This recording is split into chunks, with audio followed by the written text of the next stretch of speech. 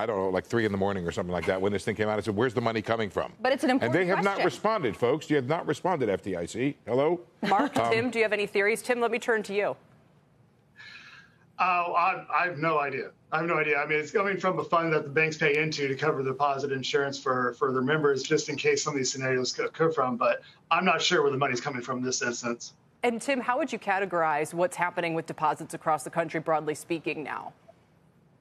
Well, they're, they're reacting to one higher rates, right? Um, as banks are typically slow to do in a tightening cycle, they don't raise rates or deposit costs until the tail end of the cycle, and that's happening right now. At the same time, the Federal Reserve is also shrinking the money supply, and so that's causing some movement around in deposits.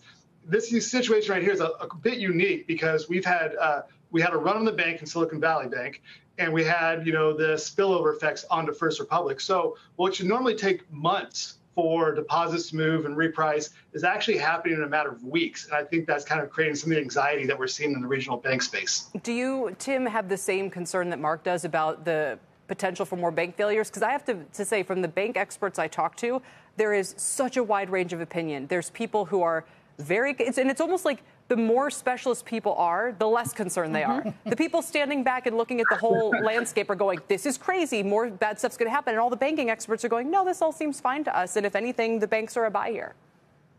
Well, so you know, let's step back here for a minute, right? What happened at Silicon Valley Bank was a tech was a traditional run on the bank, right? It happened in unique and modern ways, but still a textbook run on the bank. Same thing at First Republic. Now, what these two companies have in common is that they both grew very quickly during a low interest rate environment, near zero, right? I, I'd love to tell you that they were the only two doing it. And of course, I'm excluding Silvergate, I'm excluding Signature out of this conversation because their problems were kind of their own. But there were other banks that grew quickly in a zero interest rate environment, but the vast, vast majority of the regional and the small banks in this country were not trying to pick up pennies in front of a steamroller. Mark, do you want to respond to that and talk about why you're sort of more on the concern side, seeing the potential for more failures? I, would say that I think there's actually, you know, a fair amount of agreement, and you know, to the, those who would say banks are a good buy, I would say some are a good buy, some are not. so there's a small segment that I think that there's real problems in.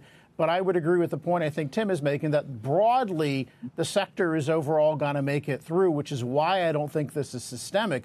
But there's definitely six to 12 that are real problems, that half of them are not going to make it through this cycle. It's even important to remember, you know, by the time Lehman failed back in 2008, we'd already lost 2 million jobs. Mm-hmm. We've seen no real job loss yet. And so a lot of this will depend on do we go into a recession? Do we start to see job loss?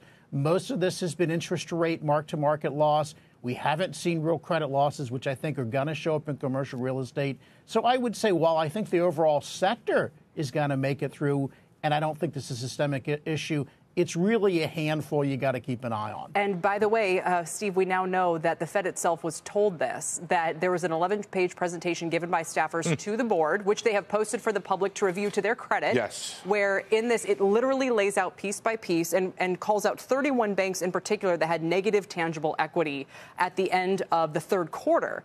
So the bank they, and we all now know this, the bank they chose to highlight as the most at risk was Silicon Valley Bank. Now, presumably, if they made this presentation to the board, then Powell and what is it, the five other members, I don't think Brainard, I don't know if Brainard was there at the time, they all heard this presentation. So the question to him on Wednesday, don't you think, has to be, if you literally were told that this is probably coming, why was there no plan? What did you do?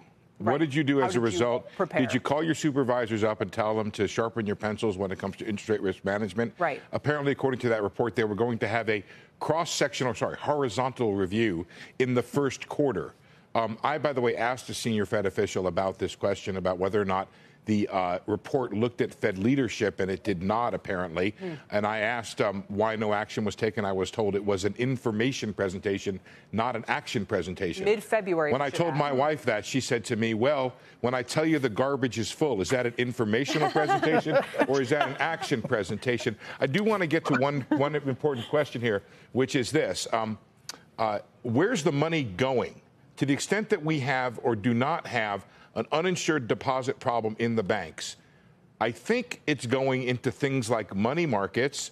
And to me, money markets, especially government money markets, are an economic dead end when it comes to lending. So I think part of the fallout here if Except Mark doesn't government, get yeah. his four or five failures, and I'm pointing over here, you can see that I'm pointing at the, at the screen. I don't know if we have that on television here. Too they have that. There we too go. See, I'm pointing to Mark. But anyway, the point is that if he doesn't get them, it's because the money went out. That's good. But where did it go? Did it go to a place where it can help the economy, have a multiplier effect, or not?